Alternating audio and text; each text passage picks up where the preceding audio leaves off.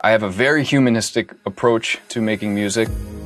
You really want to get the listener's attention with something that's super relatable. They're going to instantly be attached to that song. And don't worry about having most expensive equipment. I didn't have the most expensive equipment. So if I sing up and the melody goes up, there's some innate catchiness.